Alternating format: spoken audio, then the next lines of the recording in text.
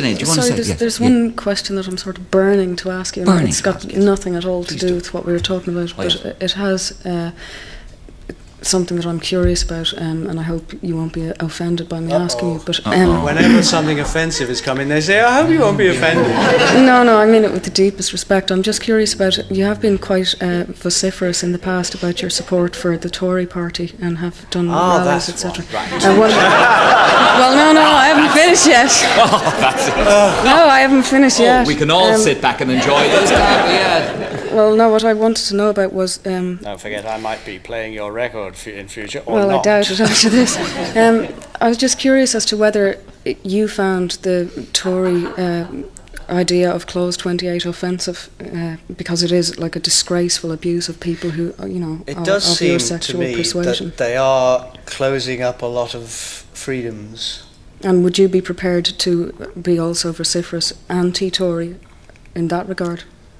Well, the reason I'm pro Tory a little here and there, not the total blanket Tory ethic.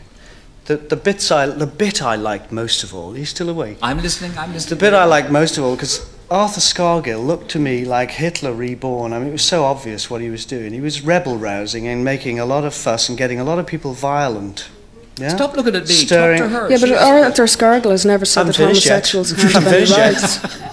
You know, whereas No, I, I, never, I never mentioned anything about gay rights at all. I'm still on Arthur Scargill. I think we should stay on him a bit because he was rebel rousing and getting a lot of people very upset.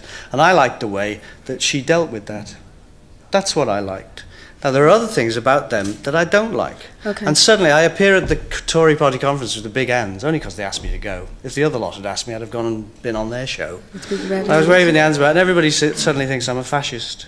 Well, no, no, I don't mean to say that at all. What I mean is that, you know, I respect that anyone, whether or not I believe in what they believe in, I have to respect what they believe in. But what I'm asking you is, while you're prepared to be vociferous in your support for what you do believe in about the Tories, are you also prepared, because of your notoriety and everything else, and the fact that you are gay and that a lot of people know that, are you prepared to go in public and stand up for gay rights?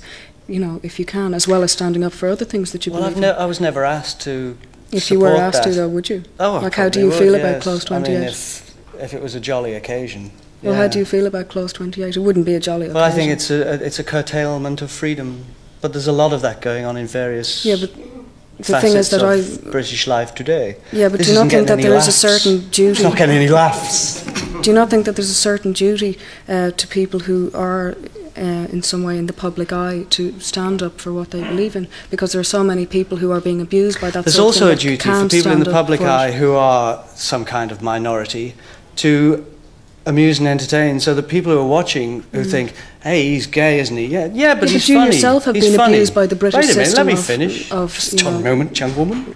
You know, they look at you and see that you're not a thing with horns, and you're not inhuman, and you can be amusing or you can sing good, and Mm. they think, "Hey, these people are humans after all." And I think that's better than marching through the streets and going, "We're all right."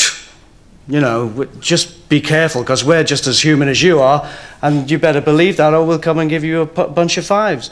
I think that's the bad way of going about it. I think we should just behave normally and make people laugh or sing good or whatever, and then people think, oh, they're not so bad after all. Oh well, no, I don't. I mean that if you if you go to a Tory party rally, for example, you are al- you are being entertaining and amusing and everything else, but you're also affiliating yourself with those beliefs. And do you not I think don't that you should so, no. also try to? I think if you join any party- your own beliefs. It's not you believe in everything they do, you know. You don't believe in the whole bag. That's right. Generally speaking, the general direction of what they stand for. Anyway, I wanted to see Margaret Thatcher. Yeah.